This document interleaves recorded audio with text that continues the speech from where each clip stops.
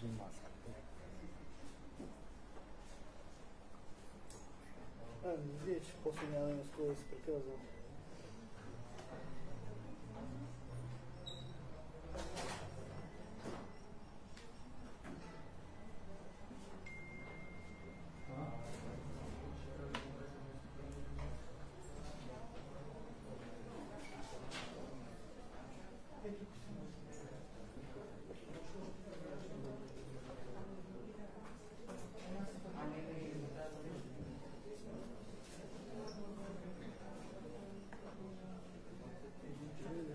Ще завел колко каса.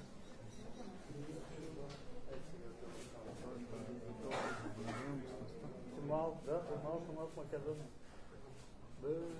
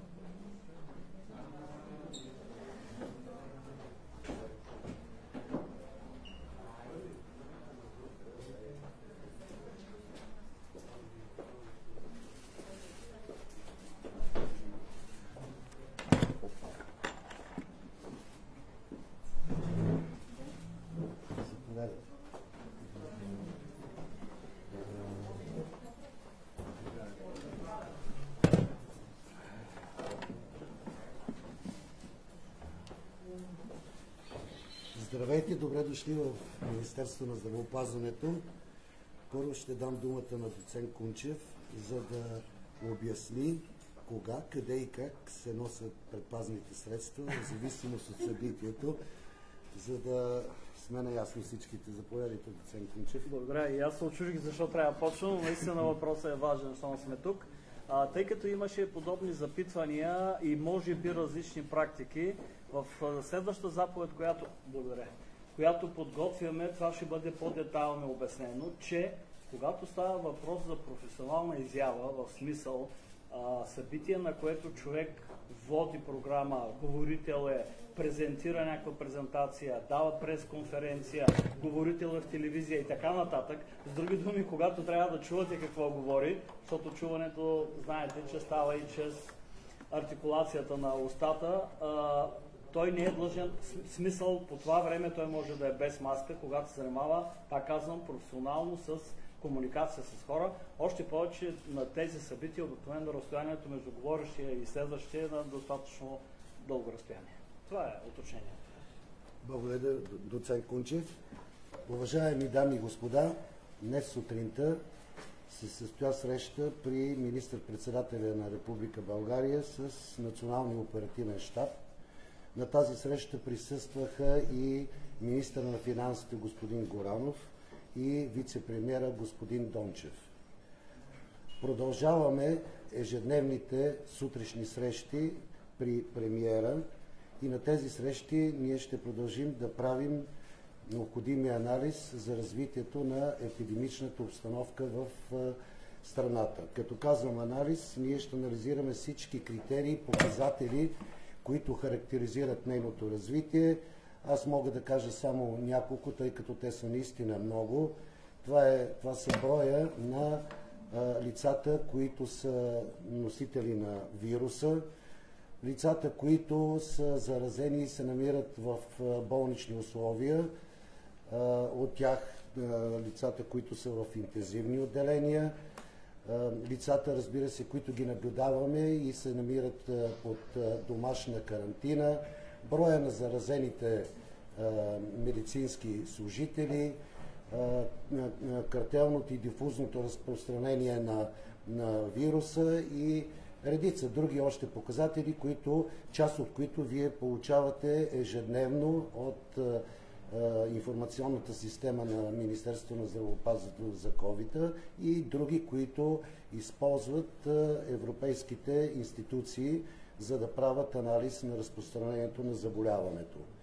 Взехме решение, това е нещо, което е ново, взехме решение да продължим а, обстановката, епидемичната обстановка, изварената епидемична обстановка в страната с две седмици, т.е. до края на месец юли.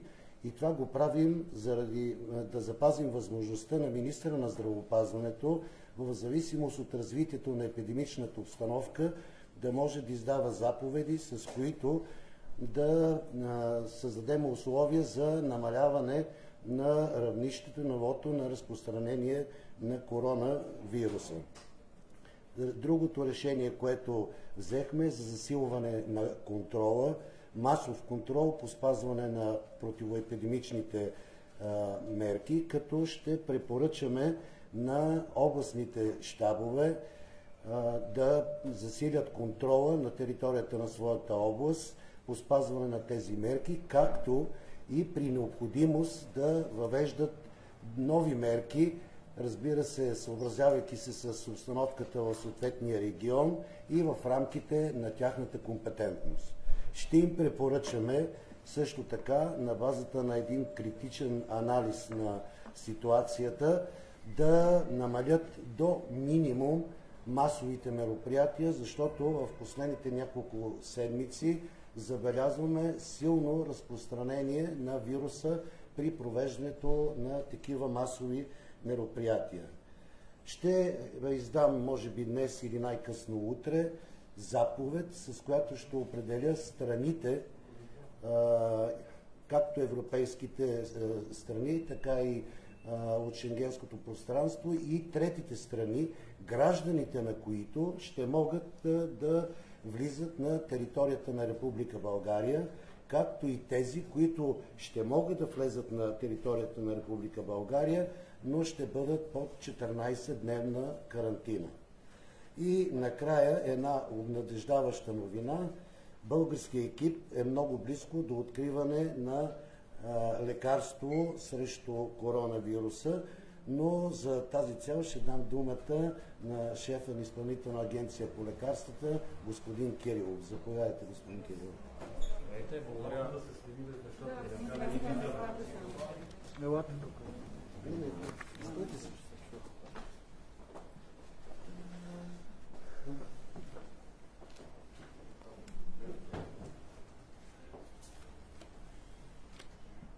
Здравейте, благодаря министър Ананиев.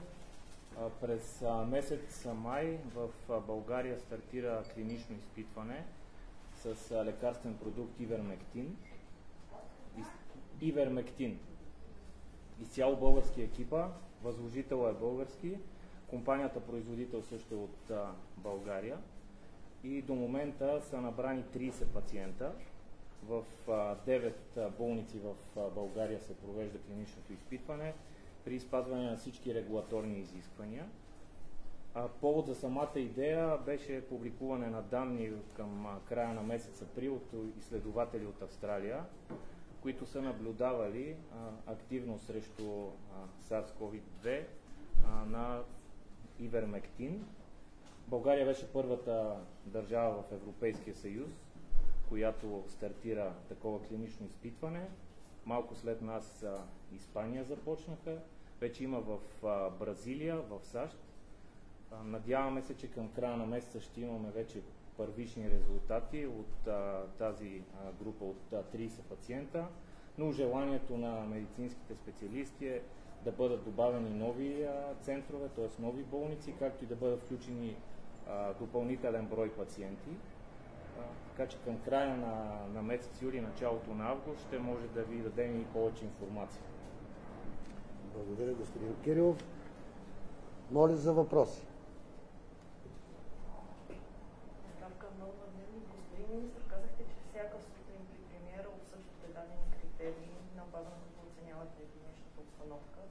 А, имате ли критични числа, брой заразени или брой тежко болни, на база на които ще препоръчате по-строги мерки в цялата страна? Вие знаете, че се... Момент. Знаете, че всеки ден а, ви давам информация от а, информационната система. Знаете общия брой на хората, които са извинявайте, хората, които са носители на коронавируса, те към днешна дата са 5740. В това число добрата новина, за която ви казах, е на броя на излекуваните, който възлиза вече на 2915, т.е. над 50% от хората са излекувани. Съобщаваме ви ежедневно и броя на медицинския персонал, който е заразен с коронавирус, като това, което чувам в последно време, че едва ли не нараства броя на медицинския персонал, не е така. В началото на периода на появата на коронавируса в България, заболеваемостта на медицинския персонал е бил по-голям.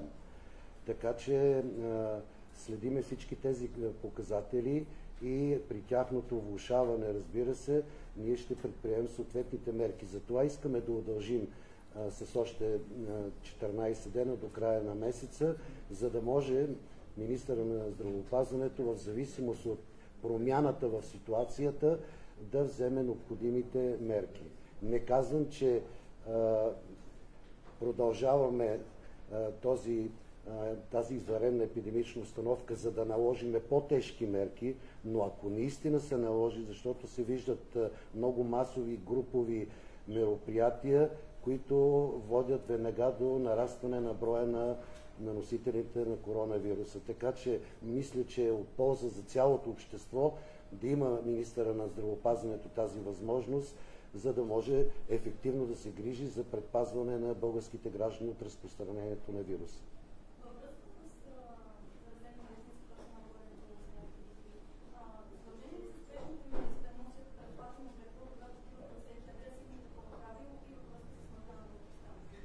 Това, което искам да кажа е, че центровете за спешна медицинска помощ са осигурени с всички необходими предпазни средства. В зависимост от сигнала, който получават, когато отиват към пациент, за който, и, който има съмнение, че е носител на, на вируса, той е задължен да бъде оборудван изцяло с всичките предпазни средства. Когато случай е такъв, че се касае за, за друго заболяване, тогава те не са задължени да носят.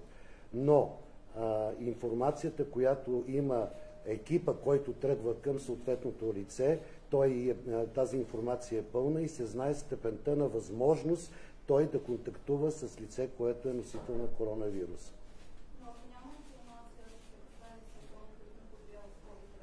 В самата, в самата линейка тя вътре има необходимото количество предпазни средства, така че това са медицински лица и веднага могат да преценят и да сложат съответните предпазни средства.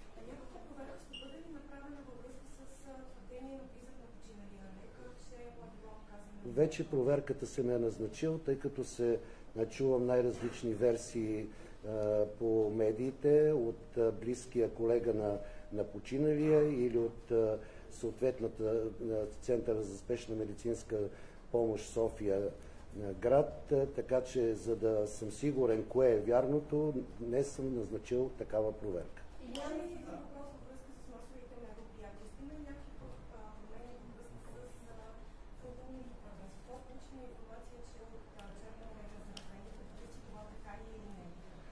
Да, наистина има 15 души от екипа, целият екип на футболен клуб Черноморе. Първата информация дойде вчера някъде към обяд. Бяха 7 души, от които 5 души футболисти, треньора на, на отбора и масажиста.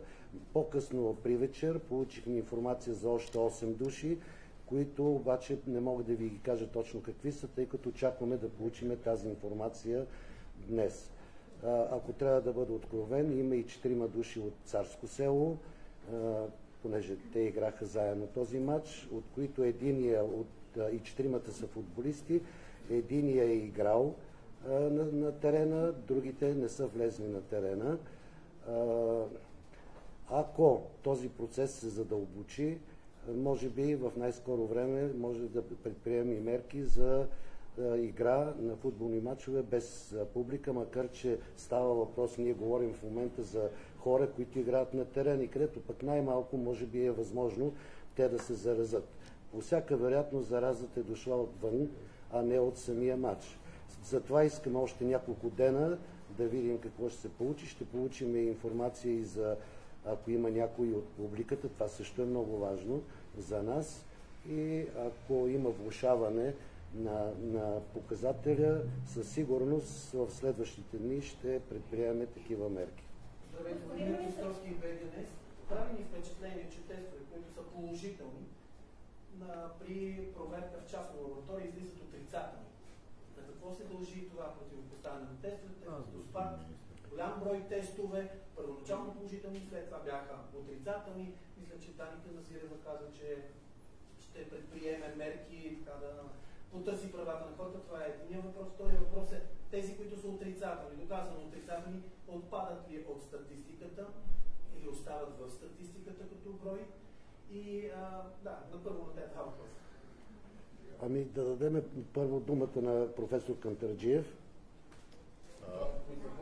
Добър ден. Да се преместете, да. Не можеш, защото ще забравя въпроса. Ще отговорим, не се притеснявайте. Сега, по отношение на тестовете. Има си европейски изисквания как се регистрират новите случаи на всяко едно опасно заразно заболяване. Министерството има една наредба, която включва около 70 заразни болести с епидемичен потенциал. Вътре са марсилската треска, морбилито, антракса, включително изчезнали заболявания, вече и COVID, новия коронавирус, е в тази наредба. За да бъде регистриран случай на такъв болен, трябва две съобщения. Едното е от лекуващ лекар или лекар-епидемиолог, който по клинични епидемични показания се съмнява, че този пациент има тази инфекциозна болест. И второто нещо, което е за потвърждение, това е регистрацията, която прави лабораторията. Европейските и световни изисквания са да има положителен PCR тест. Това въжи за 60 тежки инфекциозни заболявания и за коронавирус. Това не е от 2 месеца, не е от 3 месеца. Това си е една система, която вече повече от 15 е, доцент Кунчев лабораторното потвърждаване от около 15 години. Значи всеки един пациент, за да се приеме, че е болен от тази епидемично застрашаваща инфекция, трябва да има положителен лабораторен резултат и диагноза от лекар по епидемични показания и клинични данни. Сега, когато се вкарват в новата система, защо Министерството направи тази нова електронна информационна система? Не е възможно, системата изключва възможността, когато един пациент има 4-5 положителни проби, което в хода на лечението е честа практика, за да бъде изписан от болница или освободен от домашно лечение, един пациент трябва да има два отрицателни PCR теста. Много често пациенти повече от месец, това го наблюдаване, продължават да отделят вируса. Те са опасни за околните, могат да са източник на, на заразяване, затова се правят много тестове. Но всеки положителен тест не се регистрира като нов случай. На конкретния ви въпрос.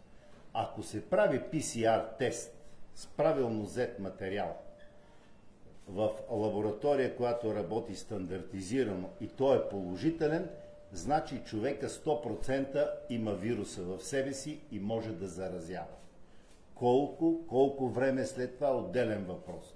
В момента имаш ли положителен PCR тест и си положителен, значи отделяш вирус.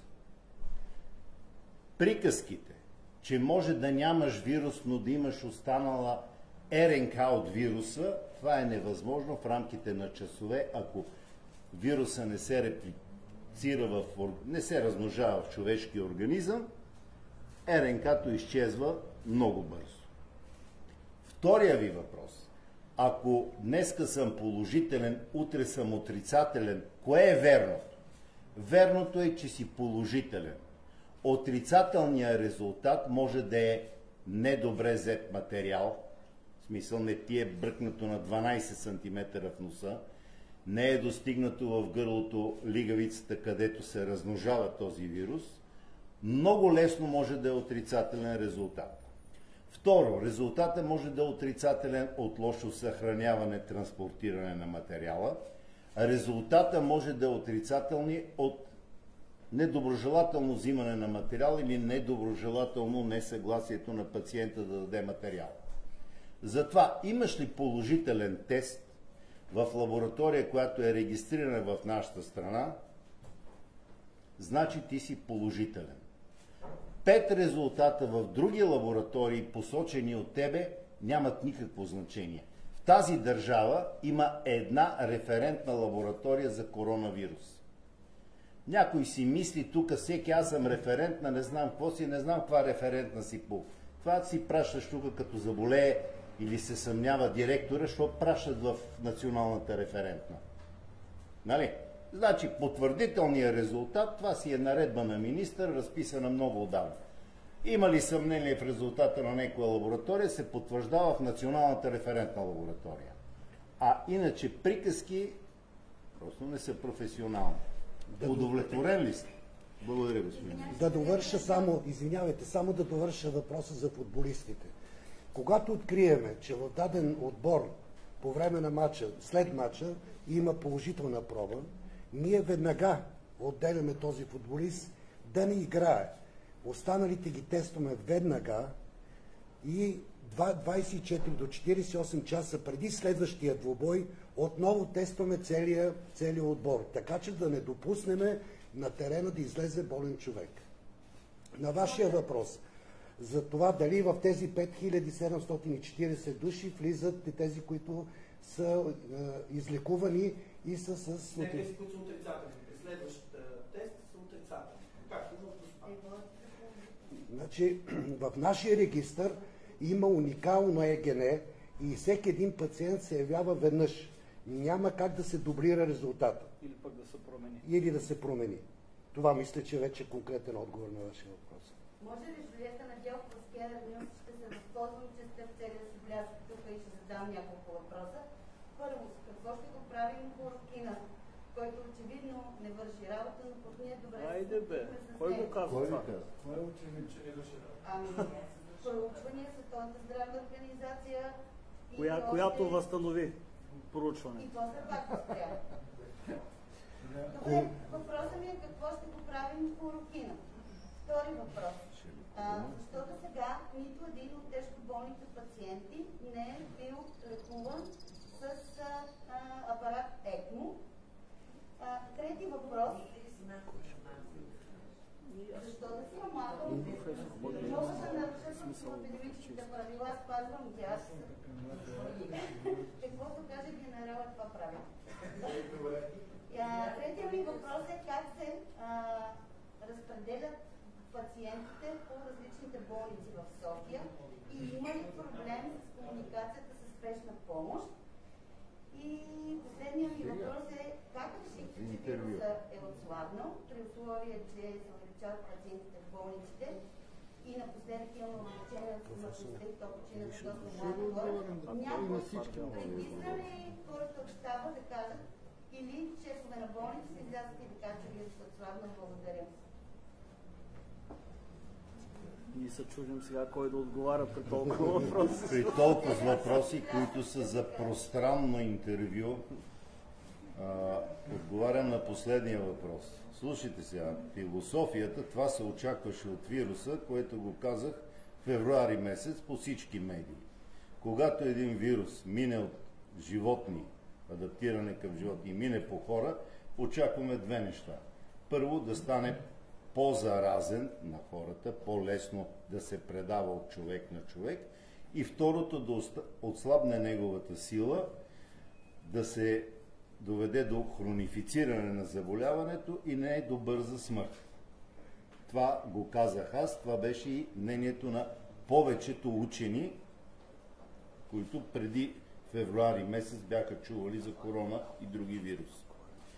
Какво стана от тогава? Появи се една мутация в свързващите протеини, когато го направи няколко пъти по-прилепчив, няколко пъти по-лесно да заразява. И тази мутация се а, разпространи най-масово в Европа. В момента нашата страна от тези 35 секвенирани щама, само два нямат тази мутация. 33 имат тази мутация и вирусът е по-прилепчив. Второто нещо, за сега има наблюдение, няма медицински доказателства, че вируса е станал по-слаб, предизвиква по-леко заболяване и води до намаляване на смъртността. Медицински наблюдения на голям брой пациенти няма. Правят се, внимателно проследяват се. Разбира се, изхода от заболяването до голяма степен при тези вируси които не са бързо смъртоносни, не са бързо смъртоносни като еболата, като ласата, като марбург, при тези вируси от голямо значение е възрастта и общото състояние на човека. Това е така едно от първите принципи на епидемиологията. Колкото по-леко заболяване причинява даден вирус или бактерии, той е по-лесно изменчив и той не може да причини клинична картина еднаква за всички. Това заболяване не е толкова смъртоносно, затова зависи от гостоприемник.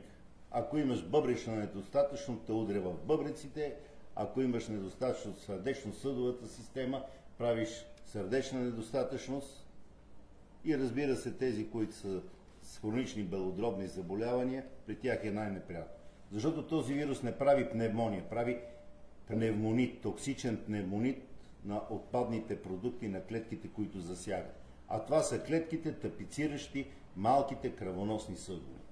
Очакването, че ви Чакай, още пет въпроси имаш. Генералното чувство.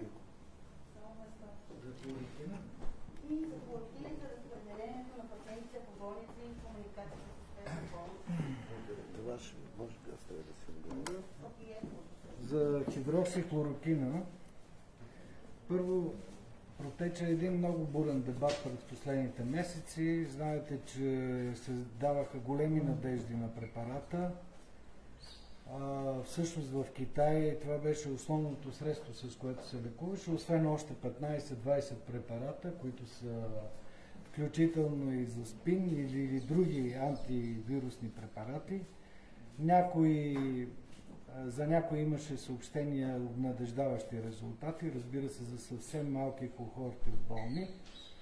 И единственият препарат, който като че ли се утвърди в света за известно време, това беше хидроксихлорокин. След което се разви сагата с ремдесивир, който е многократно по-скъп, също не е утвърден на леги артис лечение, а за, само за спешна употреба в Съединените щати и за състрадателна употреба в останалите държави. В момента то е утвърдено като схема за лечение за ремдесивир говоря в Съединените щати, ползва се и в редица европейски страни.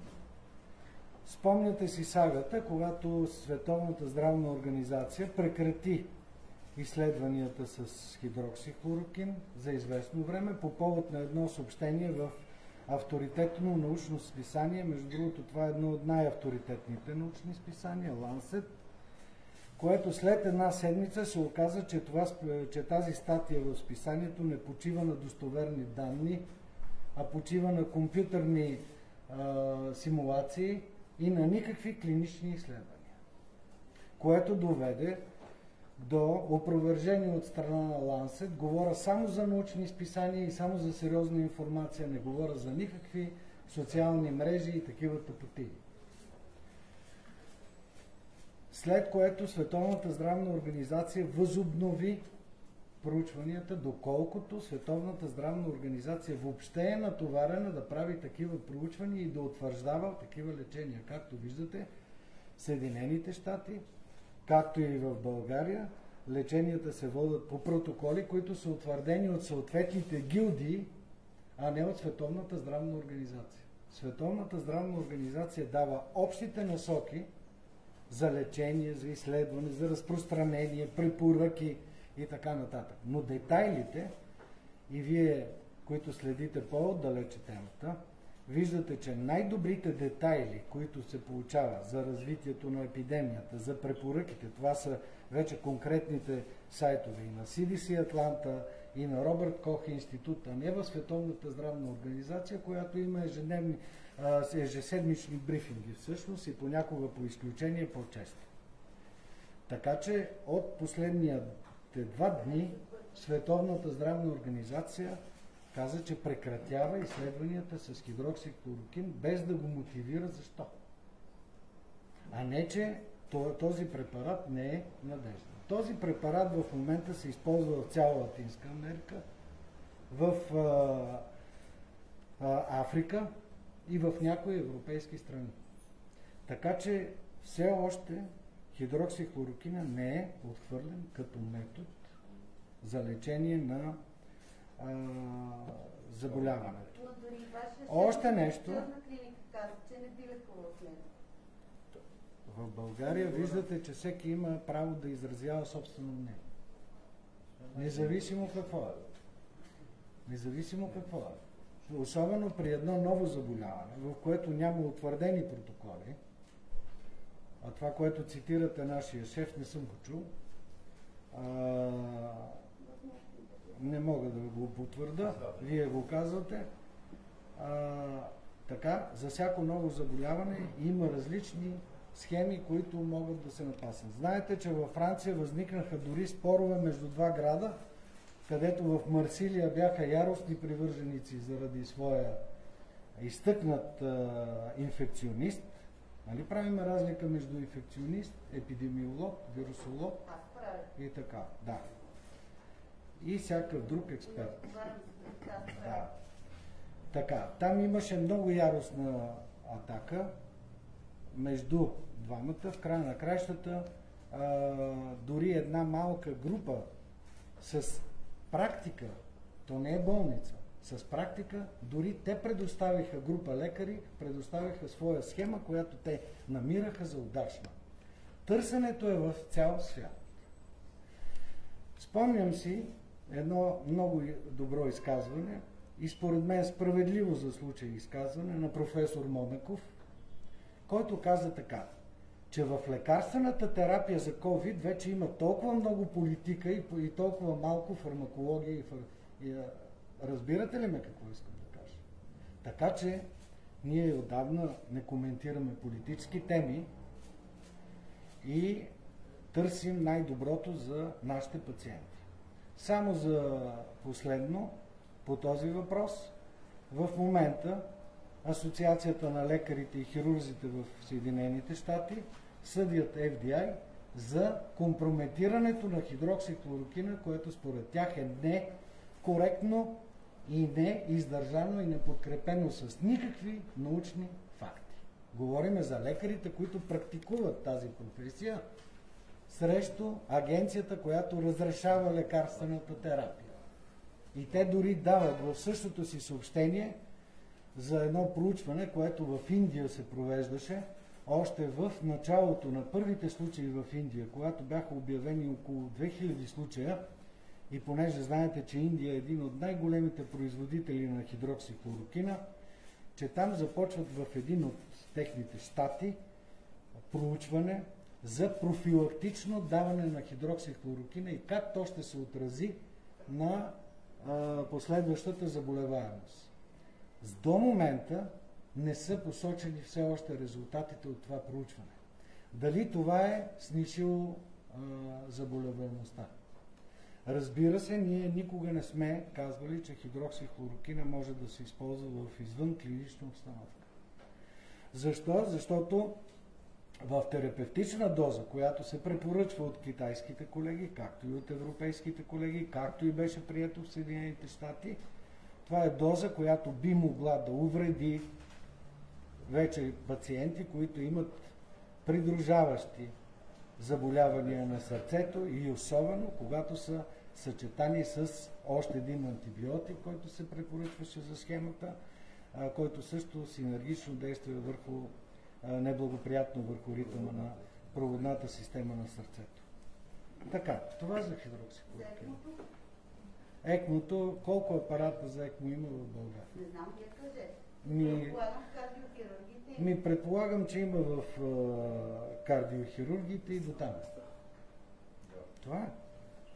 Господин министър, може ли да направите една, едно кратко обобщение как се държи в момента а, здравната система в страната? Тоест, например, колко болни има в интензивни отделения и така, актуално. Този въпрос е свързан с въпроса, който беше зададен преди малко.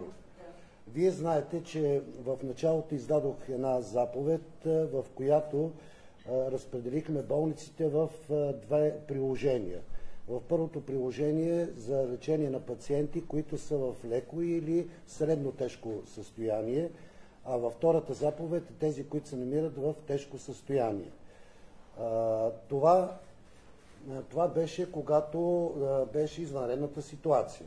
С приключването на извънредната ситуация и нашия стремеж да върнем пациентите, които имат нужда от лечение по други заболявания, т.е. да върнем нормалността в дейността на, на лечебните заведения, аз пуснах една друга заповед, в която подредих приоритетността на приемането на пациентите, първо да бъдат в инфекциозните отделения или в инфекциозна болница и след това тези случаи, които са леки или средно тежки, могат да се поемат и от останалите лечебни заведения, включени в този списък. Имаше като че ли някакво недоразбиране на тази заповед и а, това върви вече отговори с втория ви въпрос – Получиха се няколко случаи, в които линейките разкарваха съответните пациенти от една в друга болница.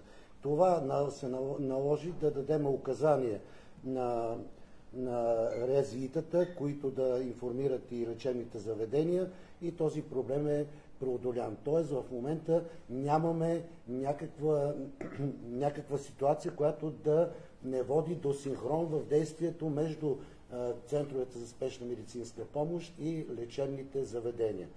Интензивните вие ги четете всеки ден в информацията, която предоставяме от системата.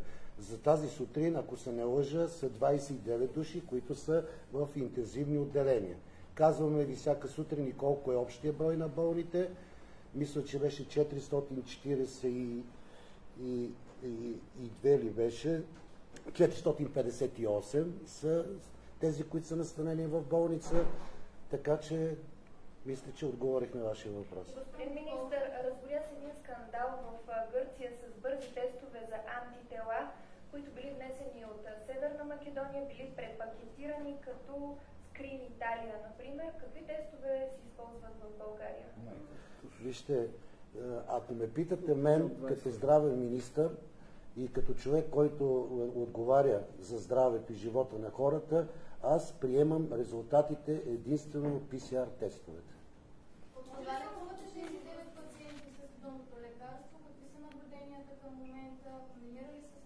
Може самото лекарство да опитате, така очевидно е известно лекарство, това вероятно с някакви нови приложения. Аз не знам откъде е 9 има, но отговорете на въпроса. Моля?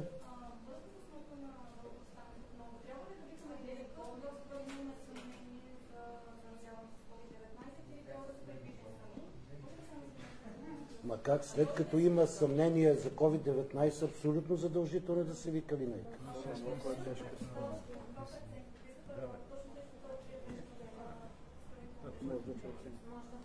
Вижте, нали ви казах, че съм назначил проверка. Нека да видим конкретно какво ще покаже проверката и тогава ще ви дадем пълна информация. Има правила, има протоколи, по които се действа.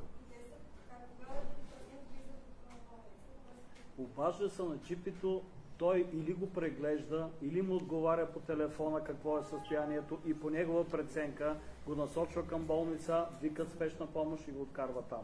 Ако прецени, че е за домашно лечение, го предписва съответния режим и лечение и той остава вкъщи. Няма нещо различно до сега.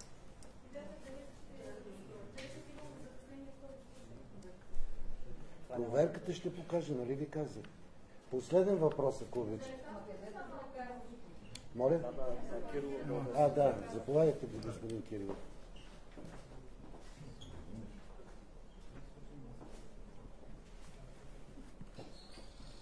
Лекарственият продукт Ивермектин се използва от а, десетки години при различни а, инфекции, предизвикани от паразити, така че той е с а, познат профил на безопасност. Иначе по отношение на самото клинично изпитване, както ви казах в, в края на месеца, след като са готови първичните данни и техния анализ, ще може да оповестим повече информация. Към момента се провежда клиничното изпитване с този лекарствен продукт, като в едното рамо пациентите получават от лекарствения продукт, в другото рамо получават плацебо, както са стандартните клинични изпитвания, двойно сляпо рандомизирано клинично изпитване, като това е на фона на стандартната терапия, която се прилага в съответните лечебни заведения. Благодаря. За, за този продукт само да питам ветеринарни медици, доколкото си спомням през април или май месец, казаха, че все пак има някаква опасност да се предозира в някакъв момент. Водени са дискусии с тях по този въпрос, точно за този медикамент. Точно за това е важно а, прилагането на такива медикаменти на такъв етап да се случват в клинични изпитвания, при които са спазени всички регулаторни изисквания. Екип от специалисти е преценил коя е подходящата доза, нали, все пак, както казах, с предвидим профил на безопасност е този продукт, така че всички тези изисквания са, са съобразени. По същия начин е и за хидроксихлорохина. Всяко, всеки лекарствен продукт има показания и противопоказания. Ако не се съобразяват противопоказанията и се прилага на пациенти, за които не е подходящо, съответно е абсолютно а, логично да се получат и нежеланите лекарствени реакции и осложнения.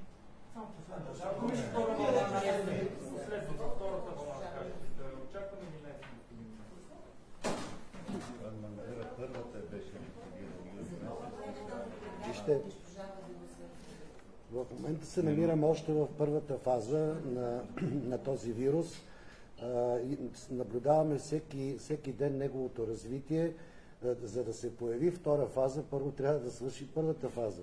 Така и иначе тя не е приключила, даже в целия свят, в цяла Европа, балканските държави, в това число и при нас, макар че с по-бавни темпове, се вижда увеличаване на, на, на заболелите с коронавирус. Тоест, трябва да има едно изчистване за някакъв определен период от време, сваляне на заболеваемостта до много ниски граници, да се счита, че този цикъл е приключен. И тогава вече може да се говори, ако се появи нова вълна, за, за втори такъв цикъл. А, още повече, че есента, вие знаете, че има и други респираторни заболявания, други видове грипове. Много е рано да се правят преценки и оценки какво ще се случи есента. Затова ви казвам, че ежедневно наблюдаваме всички показатели, които са свързани с епидемичната обстановка в страната. Благодаря ви.